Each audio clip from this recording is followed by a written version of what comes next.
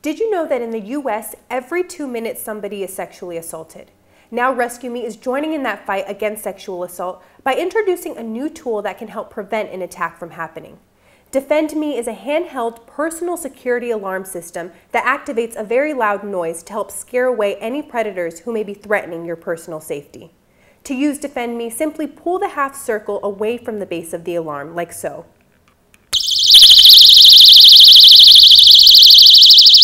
And simply place back into the base of the alarm to turn off the alarm.